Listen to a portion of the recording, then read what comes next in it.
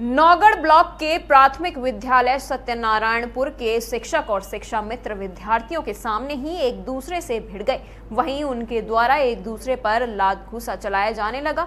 वहीं पर तैनात अध्यापक द्वारा बीच बचाव करने की बजाय पूरी घटना का वीडियो बनाते रहे। इसके बाद वीडियो सोशल मीडिया पर तेज़ी से वायरल हो रहा है। मामला थाना पहुँचा और पुलिस कार्यवाही का डर सताने लगा तो दोनों शिक्षकों ने आपस में समझौता भी कर लिया। लेकिन शिक्षा विभाग के अधिकारी मामले में लीपापोती करने में लगे रहे।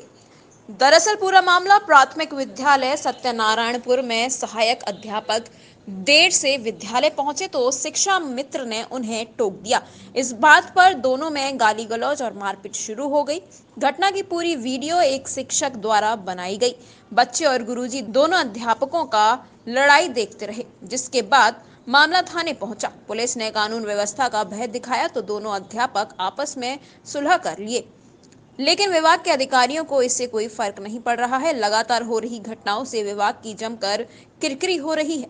विभाग ने सुलह को ही आगे की कार्रवाई का आधार लिया है। वहीं पूरे मामले में बेसिक शिक्षा अधिकारी का कहना है कि मामले की जाँच की जाएगी, जो भी दोषी पाया जाएगा, उसके खिलाफ कार्यवाही की जाएगी। प्रातः दर्पण न्यूज़ के लिए चंदौली से सूर्य प्रकाश सिंह की रिपोर्ट।